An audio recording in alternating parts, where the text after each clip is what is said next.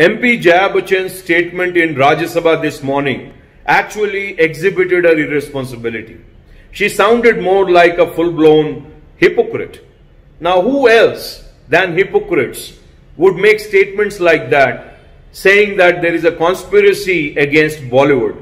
What conspiracy, ma'am, are you talking about? You haven't condemned nothing so far. When you have an opportunity to speak in the parliament, you can influence the minds of the young people in the nation. You haven't chosen that. In fact, you have chosen to side with those who are doing things wrong. Now, what protection are you seeking?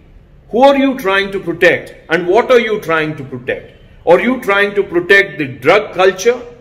Are you trying to protect the druggies in your Bollywood? In fact, you should be talking against it. You should have talked against the drug users, abusers, the drug peddlers and the drug mafia.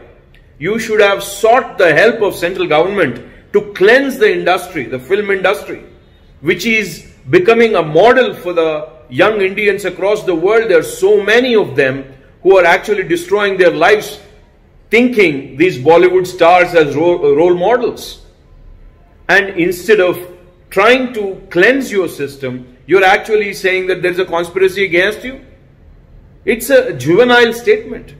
And uh, I think Senior Bachchan, Mr. Amitabh Bachchan, who's respected so much in Bollywood, should make a statement now because his silence will be misconstrued. Or you, with what your wife and member of parliament made a statement with? Or do you have a different opinion? Don't you want to inspire this nation and young Indians especially to shun the drug culture? And don't you want all these drug peddlers to be behind bars? Don't you want justice? Don't you want law and order in this country? Please speak up.